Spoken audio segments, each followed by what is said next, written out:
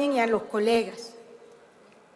Yo quiero compartir con ustedes de manera breve, porque ya en el día de ayer la señora directora de planeación había hecho un análisis más detallado sobre el Plan Nacional de Desarrollo y hace cerca de cuatro semanas tanto el ministro de Hacienda como ella habían trabajado también el tema, pero quiero compartir con ustedes sobre todo lo que viene en la ponencia para primer debate por parte de las comisiones económicas.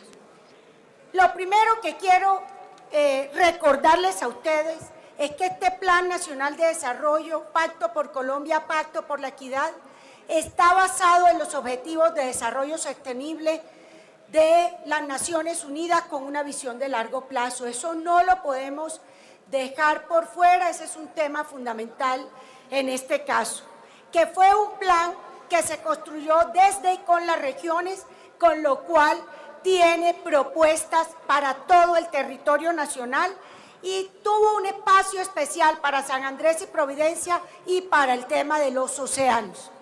Este plan también tuvo un capítulo especial para las mujeres, para los discapacitados y para las comunidades étnicas. Un compromiso con la austeridad y con la eficiencia del Estado, una apuesta por recuperar la economía con emprendimiento, con desarrollo científico, tecnológico y la innovación, con la cultura, con el turismo, como lo vamos a ver a través del articulado, y este plan le está apostando a la equidad y por eso el 46% del plan plurianual de inversiones se destina a programas en materia de equidad. El plan que tiene un monto estimado de 1.1 billones de pesos, ven ustedes aquí cómo su financiamiento está soportado en el presupuesto general de la Nación, en la cofinanciación que van a hacer entidad, sector privado, en el sistema general de participaciones, en aporte de los recursos propios de las entidades territoriales, porque hay muchos de los proyectos que son o por alianza pública-privada, son proyectos cofinanciados por las regiones a través de recursos propios del sistema general de regalías.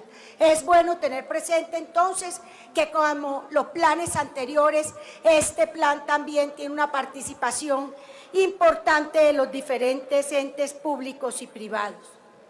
Y que en materia sectorial, este Plan Nacional de Desarrollo, Pacto por Colombia, Pacto por la Equidad, tiene en el sector de la educación el sector con el mayor, mayor participación en términos de los recursos del Plan Plurianual de Inversiones, seguidos precisamente por sectores como el de salud, transporte, mina, vivienda, agricultura, inclusión social, ambiente, entre otros. Esto para mostrarle que de ese 1.096 billones de pesos que vale este plan en su plan plurianual de inversiones, sectorialmente la coherencia entre las prioridades con la equidad y los recursos asignados al plan plurianual de inversiones.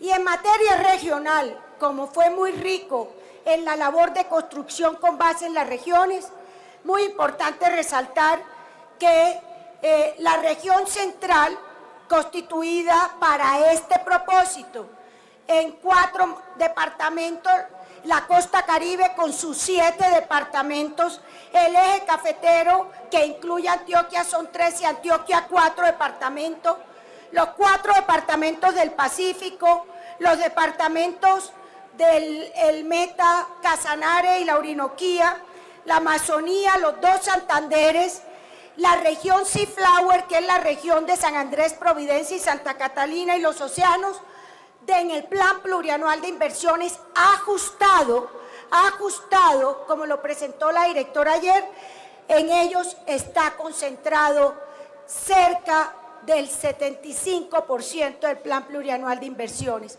¿Por qué no todo? Lo dijo la directora ayer. Porque hay partidas, programas y proyectos como los de defensa que son muy difíciles de regionalizar.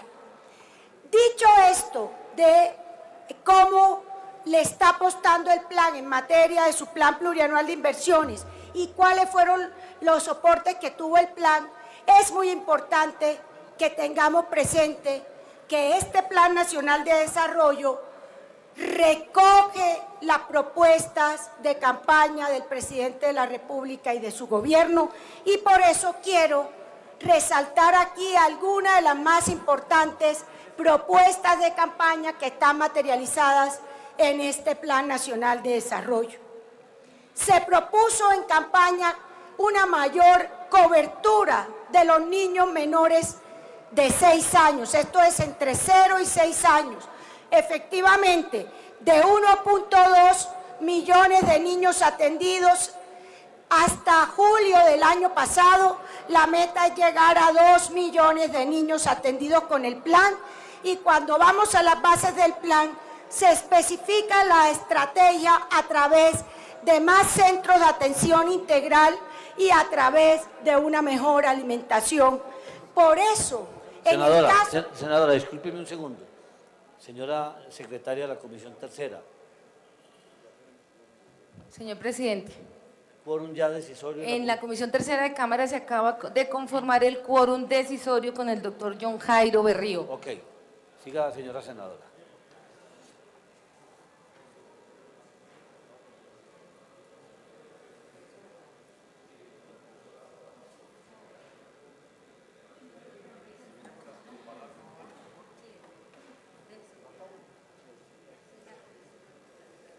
Continúo, señor presidente. Una meta importante de este plan es la mayor cobertura en la alimentación escolar y por eso 7 millones de niños se está proponiendo se beneficien del PAE, se reforma el PAE y se plantea una institucionalidad especial para asegurar las bondades de este programa. Un gran compromiso fue con la educación media y la doble titulación. Este programa está proponiendo como meta llegar a 650 mil jóvenes bachilleres con la doble titulación. Compromiso importante ha sido la jornada única escolar y se aspira a duplicar y llegar a 1.8 millones de estudiantes con jornada, jornada escolar eh, extendida, completa y además de ello con mejoramiento de infraestructura. Y el programa Mi Familia, un programa nuevo, llevarlo a 280 mil beneficiarios. Los jóvenes, que es un compromiso también del gobierno, la meta es llegar a 500 mil jóvenes en acción, a tener cerca de 520 mil nuevas viviendas de interés social y a 600 mil mejoramientos de vivienda para la población colombiana. Y apostarle, seguir apostándole por la reducción de la pobreza y bajar las personas, los hogares en pobreza de 12.9 a 10 millones de personas, todavía alto, pero una, sería una reducción significativa. En materia de legalidad, que es el, uno de los pilares de este plan de desarrollo, es reducir la tasa de homicidio por cada 100.000 habitantes y bajarla a 23.2% por cada 100.000 habitantes. Aumentar el número de criminales que se entregan a la Fiscalía General. Erradicar en los cuatro años 280 mil hectáreas. Esto es un promedio de 70 mil hectáreas por año para poder acabar con ese cultivo ilícito que tanto daño le está haciendo a la economía y a la sociedad colombiana. Y beneficiar a 15 mil colombianos que le han servido a esta patria con la ley del veterano. En materia de emprendimiento, alguno de los metas de este plan de desarrollo es apoyar 4 mil empresas con fábricas de productividad es lograr al menos 11.500 millones de dólares de inversión extranjera al año, es tener más de 5 millones de visitantes no residentes en Colombia para estimular el turismo. Recuerden ustedes que la apuesta es que el turismo pueda ser el nuevo petróleo de Colombia y sea una fuente generadora de crecimiento, que las exportaciones no minero energética puedan ser del orden de los 27 mil millones de dólares y que el valor agregado de los sectores denominados sectores de economía naranja pasen a representar el 5,1% del Producto Interno Bruto. Aquí he sintetizado algunas de las metas del plan coherentes con las propuestas del gobierno y que tienen un soporte de su estrategia en las bases del Plan Nacional de Desarrollo. Ahora me quiero meter con el articulado. Este Plan Nacional de Desarrollo que está para debate hoy aquí ante las comisiones económicas conjuntas tiene unos eh, artículos novedosos que yo quiero compartir con ustedes. El primer artículo novedoso que quiero compartir con ustedes es el artículo 100 denominado emisiones naranja, que es la posibilidad que las pequeñas empresas se pueda hacer emisiones de títulos valores hasta por el equivalente a 20 mil millones de pesos para que ellas se capitalicen, se fortalezcan y puedan prestar un mejor servicio. Es un artículo novedoso de este plan de desarrollo. Un segundo artículo que considero novedoso es que la gestión catastral no solo se considera un servicio público, sino que se habilita a gestores catastrales por parte del IGAC. Esto es la posibilidad de que los municipios que tienen o los departamentos catastros independientes o aquellos otros que puedan ser habilitados por el IGAC puedan ayudar a hacer la formalización catastral. El gran reto del país es que hoy solamente tenemos el 5% de esta formalización. El gran reto es poder llegar a ver si al menos el 60% se hace en este cuatrienio en materia de formalización y gestión catastral. Un tercer artículo que considero novedoso, la cédula rural. La cédula rural está contenida en el artículo 142 y la cédula rural tiene unas experiencias maravillosas como la cédula cafetera. Todo lo que se quiere es que haya la posibilidad que con base en la experiencia de los cafeteros se pueda generalizar para el sector productivo del agro colombiano la cédula que permita prestar mejores servicios y focalizar los beneficios a la zona rural colombiana. En el artículo 107 se establece el seguro agropecuario. Eso es un avance significativo para que los agricultores puedan proteger sus cosechas.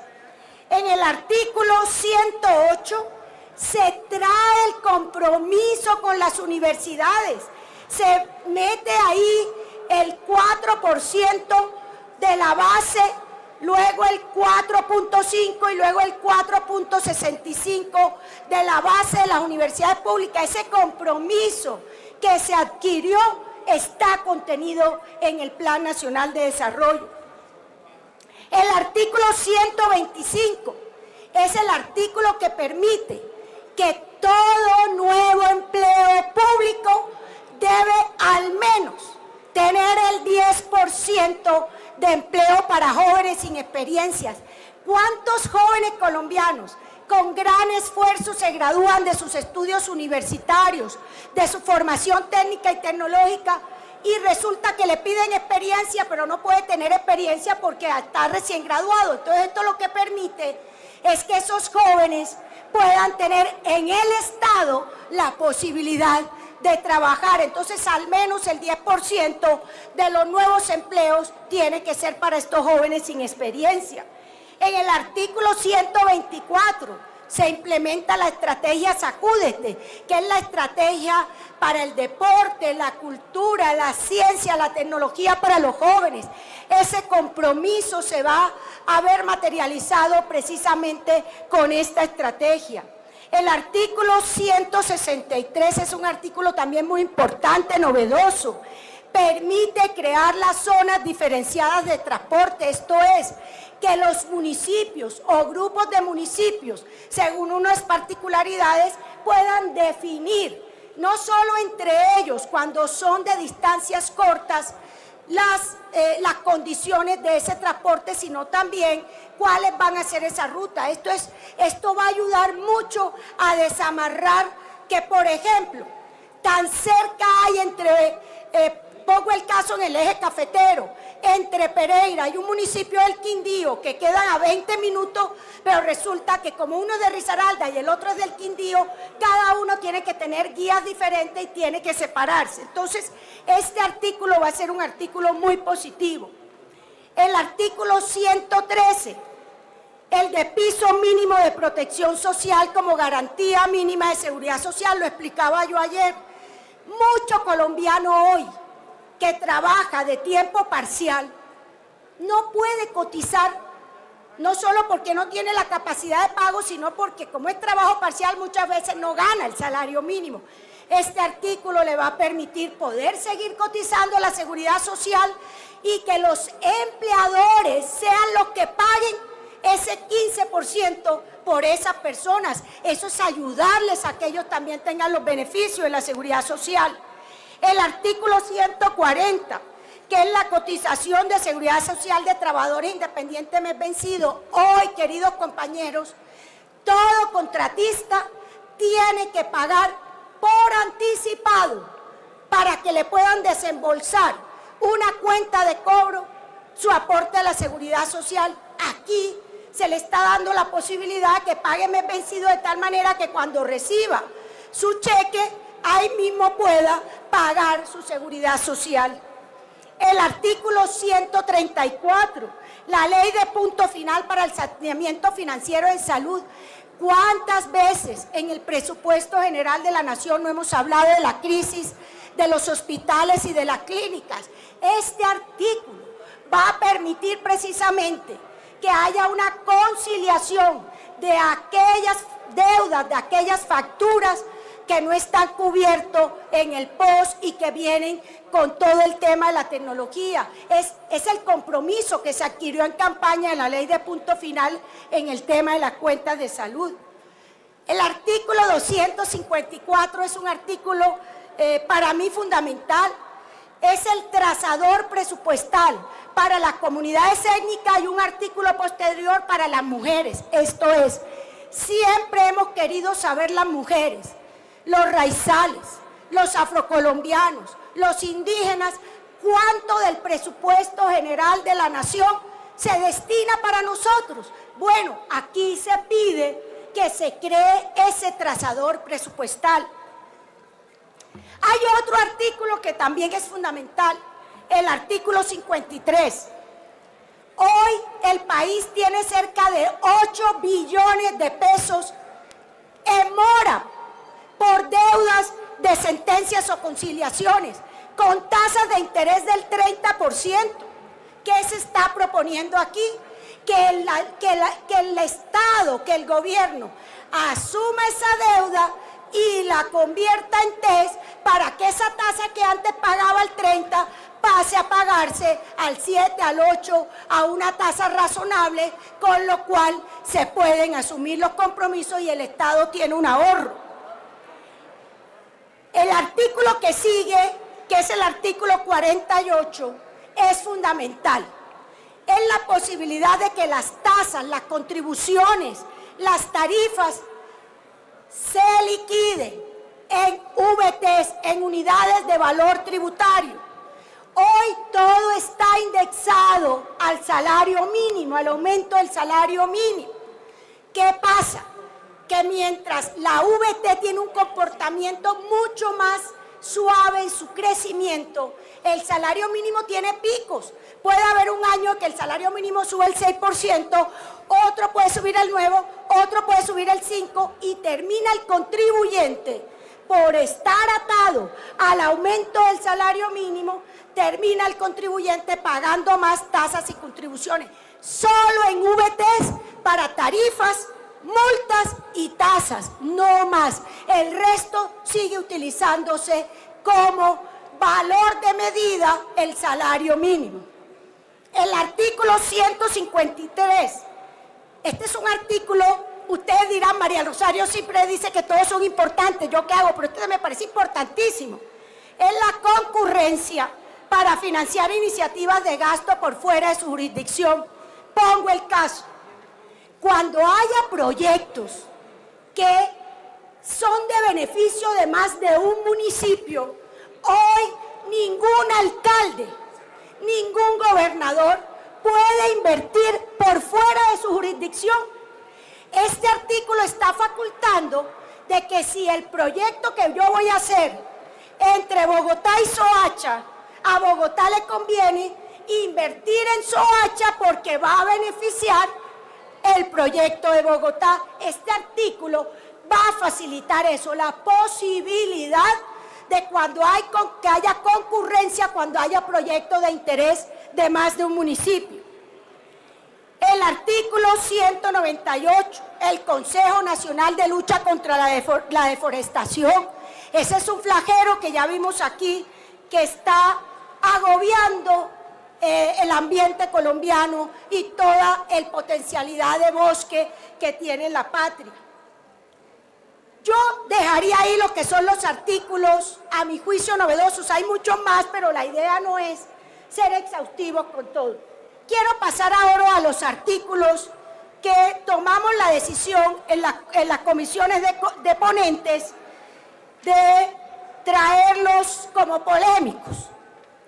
Yo resalto los cuatro artículos que se consideraron polémicos de tal manera que será esta comisión en la que definamos qué vamos a hacer con ellos. Uno, el artículo 35 sobre el manejo del presupuesto, se considera un artículo polémico para que definamos. Dos, el artículo 87, que es la validación biométrica de los sistemas de la Registraduría Nacional, que va, segundo, que va a permitir precisamente que se usen las nuevas tecnologías a futuro en todos los servicios que se presten. Tres, los de adecuación de tierras, es toda una propuesta en materia de adecuación de tierra. Lo que pasa es que se, se propuso ya muy al final, no se alcanzó a dar el debate completo y por eso se consideró que valía la pena mejor esperar. Lo mismo que los recursos para el ICA, para el control de la salmonela. Los traigo aquí porque eh, se, se habló del tema allá. ¿Qué artículos se eliminaron? Quiero resaltar solamente un grupo de ellos se eliminaron el artículo 27 que le daba, le cambiaba las responsabilidades a los OCAT y solo quedó que la Secretaría Técnica del OCAT Paz la realizara planeación nacional. Se eliminó el artículo 172 sobre los programas de inversiones del río Bogotá. Se eliminaron los artículos 146, 147 y 148 que hacían el cambio en materia de la liquidación del impuesto al consumo de licores y eh, se eliminó el artículo 179, que era el artículo que volvía la ley 142 sobre los subsidios de servicios públicos, con lo cual se mantiene que para el estrato 1 el subsidio de servicios públicos del 60%, para el estrato 2 del 50% y para el estrato 3 del 15%. Dicho esto, entonces, eh, tenemos, fueron 2.698 proposiciones presentadas, en los temas económicos 456, en los temas de emprendimiento 517, en los de equidad 681 y en los de legalidad 510. Senadora, un, un, ¿cuánto le falta? Ya solo voy a traer una. ¿Cuánto? Bueno, pero déjeme, por favor, señores secretarios, comisiones terceras y cuartas del Senado. Señor presidente, la comisión tercera del Senado registra quórum decisorio. Comisión cuarta del Senado registra quórum decisorio. En consideración del orden del día leído, anuncio que va a cerrarse cada cerrado. ¿Lo aprueban las comisiones? Comisión tercera de Cámara la aprueba, presidente. Comisión tercera del Senado lo aprueba, señor presidente. Comisión cuarta del Senado lo aprueba, señor presidente. Comisión cuarta de Cámara lo aprueba, señor presidente. Continúa, señora senadora, que seguía debo someter otra votación. Ya para terminar entonces, la ponencia que tenemos para debatir tiene 311 artículos, de los cuales 128 son nuevos. Ahí ven ustedes algunos artículos según temas. Nueve artículos fueron eliminados, ahí están algunos de los que se eliminaron y los artículos que les hablaba son artículos para discusión. Finalmente, es bueno saber en materia de tasas, contribuciones que tiene este proyecto, porque se ha dicho mucho. Este articulado que tenemos hoy solamente crea dos tasas nuevas.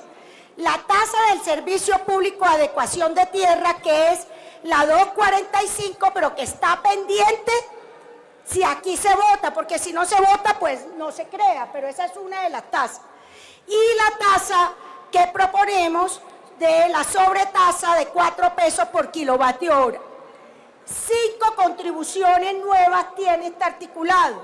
La contribución de solidaridad en el sistema de salud, que está en el artículo 138. La contribución para el funcionamiento de la CREC y de la Superintendencia de Servicios Públicos del artículo 186. La contribución a la, a la Supersalud para su vigilancia en el artículo 195. Las- la contribución a la ANI para los estudios y las decisiones en el artículo 222 y la del fondo empresarial en el artículo 91. Y se crean cuatro fondos. El Fondo de Seguridad Social en el artículo 213, el Fondo para el Parque Automotor de Carga, el Fondo de Adecuación de Tierras, si lo aprobamos aquí, y uno nuevo que es el de Chocó. Entonces, señor presidente y apreciados colegas, con esto rindo presentación del proyecto para primer debate del articulado y, y bases del Pacto por Colombia, Pacto por la Equidad, plan de desarrollo presentado por el gobierno del presidente Duque y puesto a consideración del Congreso de la República, que fue estudiado por los ponentes y coordinadores de ponentes durante casi 45 días y que está sometido a debate en el día de hoy. Mil gracias, presidente. Muchas gracias, señor.